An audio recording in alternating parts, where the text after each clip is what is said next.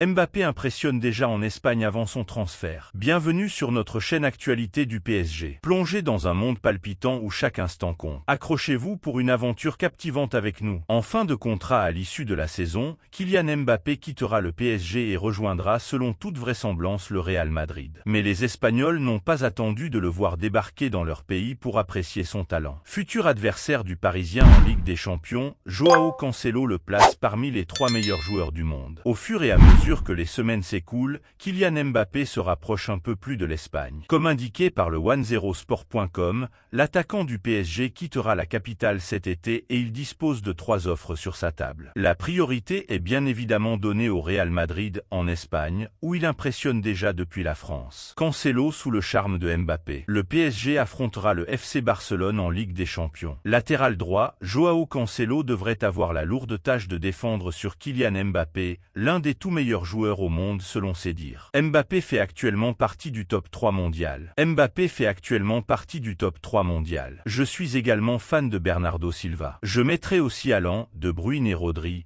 a confié le défenseur du FC Barcelone à l'occasion d'un entretien accordé aux médias portugais à Bola. Kylian Mbappé a déjà l'Espagne à ses pieds. Grande retrouvaille à Paris. Tombeur de la Real Sociedad au tour précédent, le PSG retrouvera le FC Barcelone en quart de finale de la Ligue des Champions. Une double confrontation qui va rappeler des souvenirs à Luis Enrique ainsi qu'à son joueur Ousmane Dembélé, tous deux passés par la Catalogne. L'histoire était déjà écrite d'avance. Comme souvent en Ligue des Champions, le PSG a hérité du FC Barcelone au tirage au sort. Le club de la capitale va donc croiser la route d'un adversaire que Luis Enrique et Ousmane Dembélé connaissent très bien. L'heure sera donc aux retrouvailles. Une rencontre sous le signe des retrouvailles pour Enrique et Dembélé. Le coach du PSG va donc retrouver son ancien club, aussi bien en tant que joueur qu'en tant qu'entraîneur. En effet, Luis Enrique a eu l'occasion de revêtir le maillot Blaugrana à 300 reprises mais aussi de diriger cette équipe. C'était lui qui était aux commandes du Barça lors de la remontada en 2017. Il va également retrouver son ancien coéquipier et ancien joueur, un certain Xavi. Le plus célèbre compère d'Andrés Iniesta a annoncé son départ du Barça à l'issue de la saison mais il ne va pas offrir la qualification sur un plateau aux Parisiens. Enfin, Ousmane Dembélé va croiser la route de ses anciens partenaires et de son ancien entraîneur. En Catalogne, on se prépare déjà au choc. Tout le monde sera en feu. C'est l'un des joueurs les plus dangereux du PSG, mais il y a aussi Dembélé. Ce sont de grands joueurs et nous essaierons de les arrêter. En fin de compte, on sait que quel que soit l'adversaire, il s'agit d'une grande équipe. Nous avons vu le PSG et nous sommes heureux. C'est vrai que City est une grande équipe et qu'elle est très bonne, mais on peut aussi la retrouver en finale. La motivation fait partie intégrante de la Ligue des Champions. Nous jouons contre un grand adversaire et, à cet égard, tout le monde sera en feu, a notamment déclaré la pépite Fermin Lopez pour Sport. Le match aller se disputera au Parc des Princes le 10 avril prochain, une semaine avant la manche retour prévue en Espagne le 16. Un miracle inespéré avant l'UM, Marquinhos est un taulier indéboulonnable du PSG, de par son ancienneté et son statut de capitaine. Néanmoins, les Parisiens doivent se passer de ses services depuis plus d'un mois en raison d'une blessure au tendon d'Achille. Et pour le FM, le Brésilien devrait toujours être aux abonnés absents. Appréciez-vous nos infos?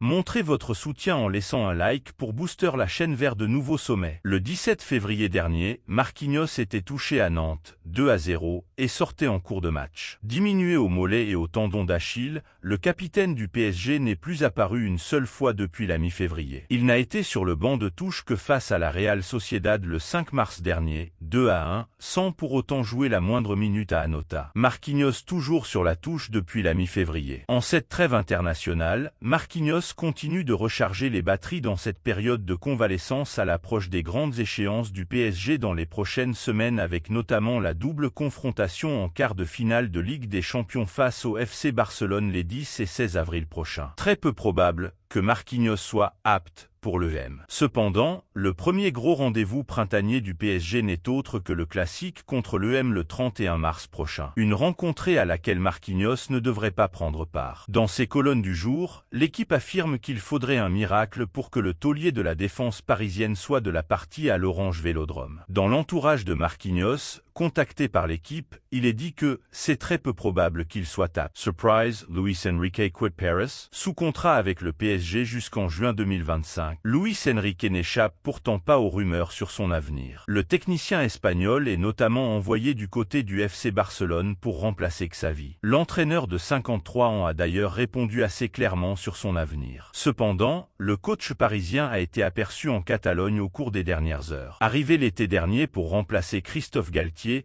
Luis Enrique est sous contrat jusqu'en juin 2025 au PSG. Mais alors qu'il lui restera encore un an dans la capitale à l'issue de cette saison, l'entraîneur de 53 en fait déjà l'objet de rumeurs au sujet de son avenir. L'ancien sélectionneur de l'Espagne est notamment envoyé du côté du FC Barcelone pour remplacer Xavi. Je veux respecter mon contrat, je dirais toujours que ça me plairait vu ce que signifie le Barça, mais ça me paraît difficile que nos chemins se recroisent. Moi cet été, je veux respecter mon contrat. On m'a dit à Paris qu'il y a un projet très bon à développer, et je ne serai pas celui qui va rompre le contrat. Je ne l'ai jamais fait et je ne le ferai pas, a d'ailleurs expliqué Luis Enrique, visiblement déterminé à rester au PSG au moins jusqu'à la fin de la saison prochaine, lors d'un récent live Twitch. Luis Enrique aperçu à Barcelone. Mais comme le rapporte Mundo Deportivo, Luis Enrique a profité de la trêve internationale pour donner quelques jours de repos à ses joueurs. Le technicien espagnol, de son côté, s'est envolé pour Barcelone afin de retrouver sa famille. Il a d'ailleurs été aperçu dans le restaurant Estimar dans le quartier du Born. Son départ de la capitale n'est que temporaire.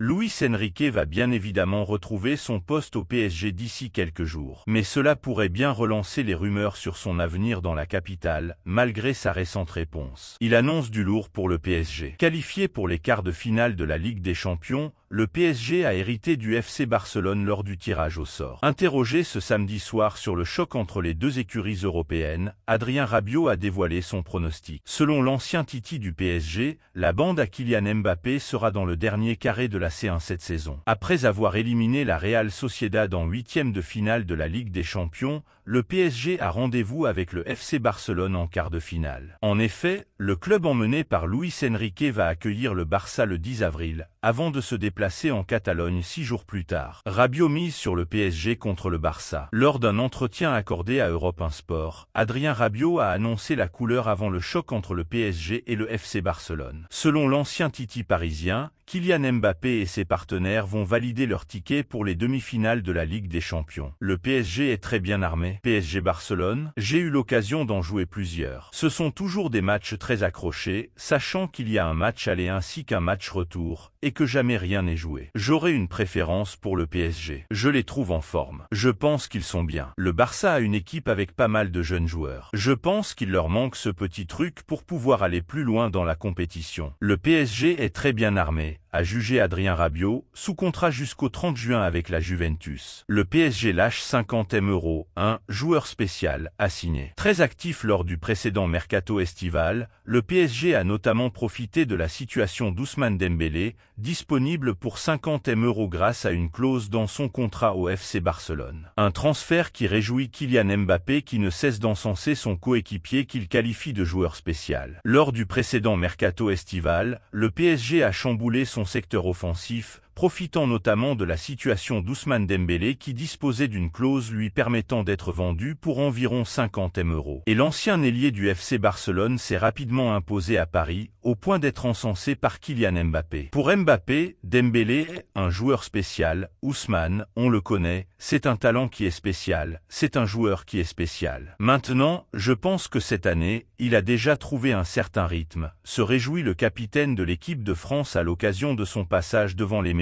avant de poursuivre. Il a le talent et la personnalité pour s'épanouir et réussir en bleu. Et je pense que s'il continue de surfer sur ses dernières performances en club, je pense qu'il arrivera à être bon en sélection, même si ce sont deux contextes différents. Mais je pense qu'il a le talent et la personnalité pour s'épanouir et réussir en bleu, ajoute Kylian Mbappé au sujet d'Ousmane Dembélé. Chers fans du PSG, partagez vos pensées en commentaire, votre avis compte. Restez connectés, de nouvelles exclusivités arrivent bientôt. Abonnez-vous pour ne rien manquer.